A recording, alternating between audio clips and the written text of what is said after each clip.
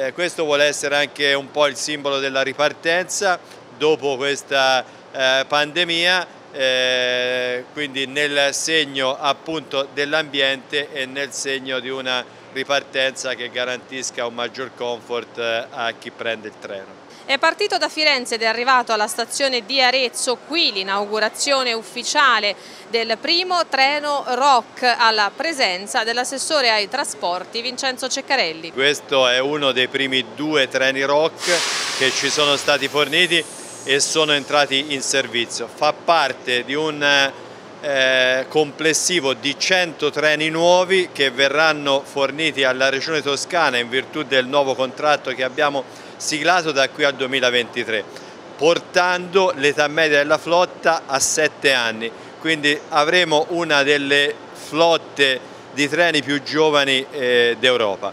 Ma l'importanza di questo treno è anche eh, nella sua struttura. Intanto è un treno che parla toscano perché è stato completamente costruito all'ex Breda di Pistoia, attualmente Itaci, è stato certificato da Italcertifer che è un ente certificatore eh, toscano ma soprattutto è un treno molto comodo. Si può vedere ad iniziare dalla larghezza eh, delle porte che consentono un'entrata e un'uscita eh, molto eh, facilitata ad iniziare dai diversamente abili.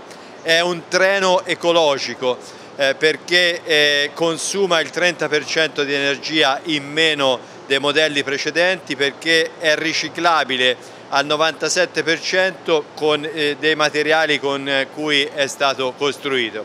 È un treno sul quale si può utilizzare internet, c'è la possibilità eh, di agganciarsi all'energia elettrica con eh, gli spinotti che sono presenti in ogni, in ogni postazione. Eh, è un treno che ha una toilette che è eh, attrezzata per il ricambio eh, dei pannolini per quanto riguarda i bambini, eh, ha 600 posti, quindi una grande capacità, due piani ma con rampe di accesso al secondo piano che sono molto comode e poi ha maggiori spazi eh, tra un sedile e l'altro rispetto a quelli precedenti, quindi toscano, ecologico, eh, è, molto, molto comodo.